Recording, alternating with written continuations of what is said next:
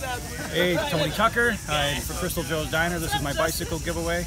Uh, today in the city of Flint, we're going to give away 1,068 bicycles. In addition to that, I asked some local business owners to play a game with me when we were kids. A lot of times we would take our bicycles apart and we'd create different style bicycles and kind of make our own thing.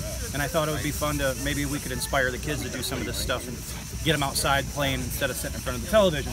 So I have my fellow business owner friends here, and um, this is uh, American Sewer Cleaners. We built the theme this year was rat bikes. So this is uh, American Sewer Cleaners Rat Trike. It comes equipped with headlights and taillights.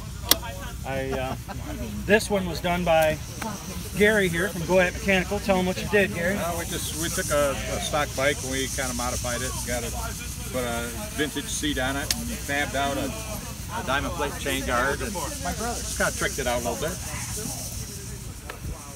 This is my brother Brian. How you doing? Hi. And uh, this is the one that he built. If you take a look, he's got quite a contraption going there. Uh, this is made from three different bicycles. I stretched it uh, about 10 inches.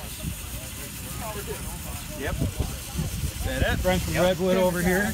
Not camera shy. Tell them what you got. Tell them what you made. Uh, we took a 1963 uh, Schwinn Speedster and uh, powder coated it, and then uh, went over to Tony's and roached it out with the rest of the parts.